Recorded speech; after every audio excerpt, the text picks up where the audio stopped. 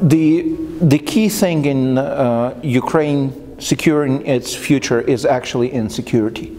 If we can achieve security, then it means that we can achieve success. Security comes from two sides. It means we have to be secure around our borders, but we also have to be secure inside.